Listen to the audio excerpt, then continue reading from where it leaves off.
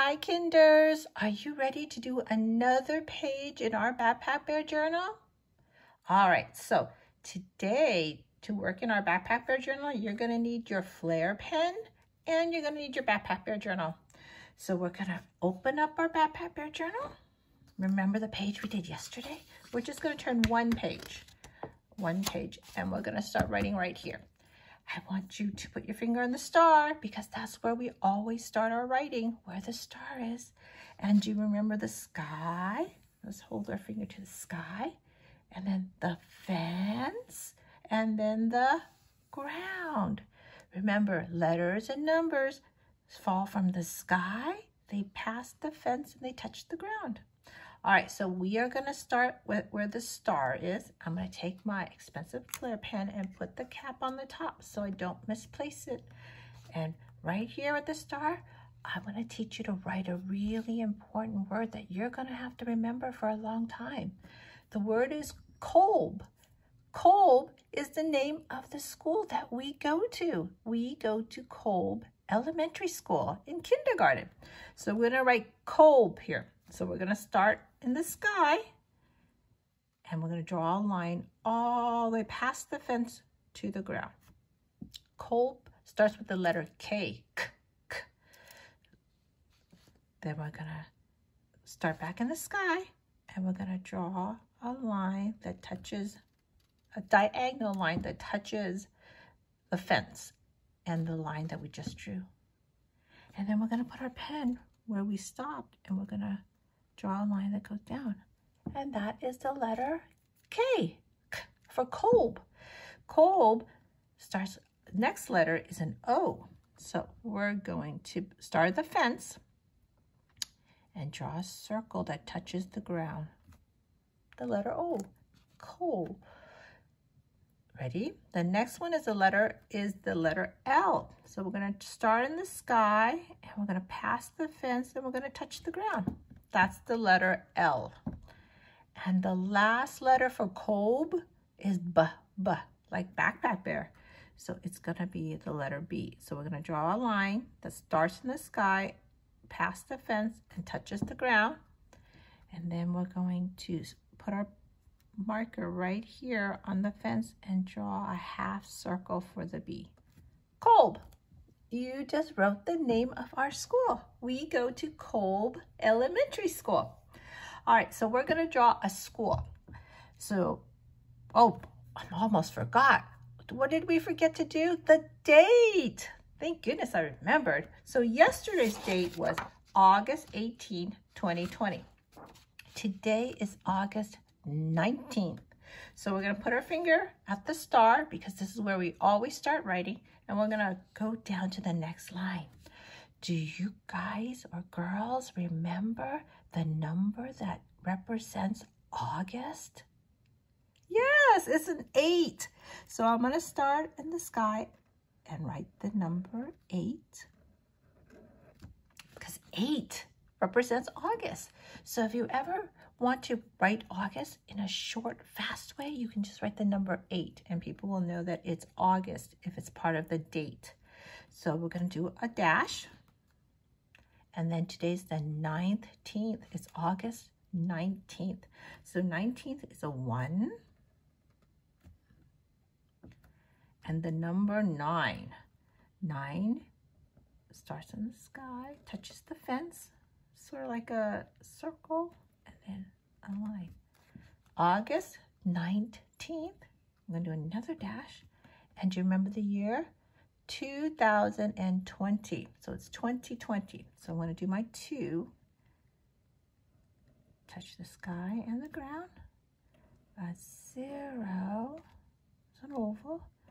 A two. And a zero.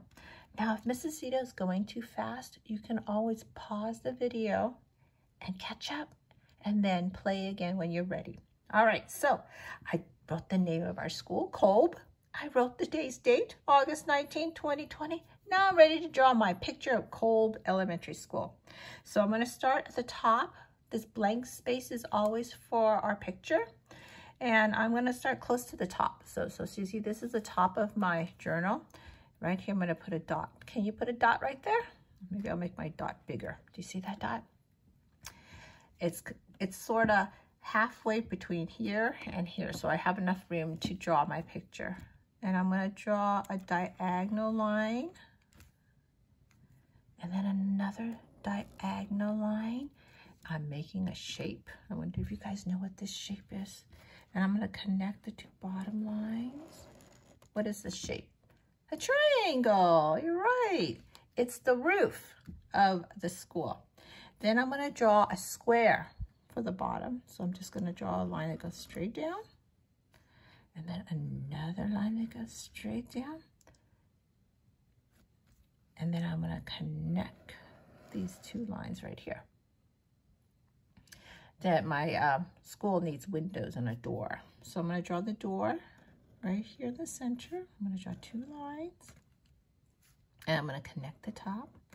And you can't open the door without a doorknob. So I'm going to put a big doorknob right there. And I'm going to write my classroom number. So you are either in K1 in Mrs. Seto's class, K2 in Mrs. Barnes' class, K3 in Mrs. Iris's class, or K5 in Mrs. Henry's class. So you can write the number of your classroom if you know it. If not, you can just write K for kindergarten. So I'm going to put, because I'm in K1 and I know that, I'm going to put K1 right up here. So I'm going to do the letter K. It looks just like this.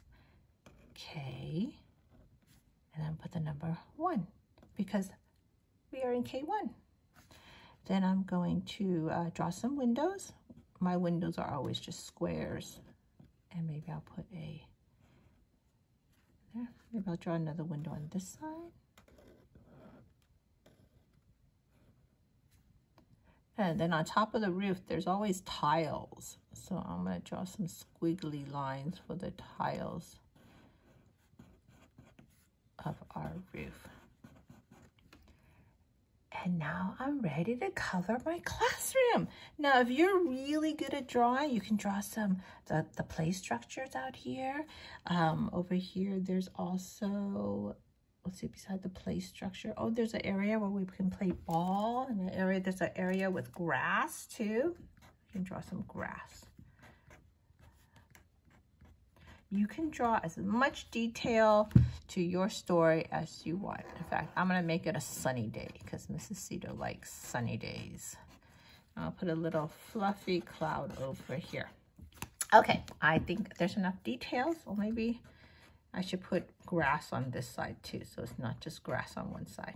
There you go. All right, so I think I have enough detail. I'm to close my expensive pen, listen for the click, and then I can start coloring. Hmm, I'm gonna make our door, I think our door's gray. I'm gonna color it a gray. And I think I'm gonna give us a nice blue roof.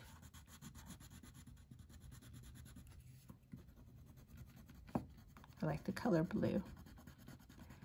And if you need to catch up, you're not ready to color yet, you can pause the video, finish drawing your Kolb classroom, and then you can come back and color it later. I'm gonna color the sun yellow. And I'm going to color our building brown. I think our building is gray, but since I made the door gray. I don't want to make the building gray too. I like making my pictures nice and colorful. Do you like making your pictures nice and colorful too? So I'm going to color the rest of my classroom. Don't you think pictures look so much nicer after you color them? The color just, I'm to color the grass too. It makes it so much prettier to look at. I know I like looking at pictures that are colored. So hopefully we will get Mrs. Iris to do some journals because she is an amazing artist. I can't draw as well as Mrs. Iris, but I still like to draw. and I keep practicing and practicing my drawing, hopefully one day my pictures will be as pretty as the ones that Mrs. Iris draws. All right, boys and girls, you did a great job. I'm proud of you. All right, I will see you tomorrow for our next journal page.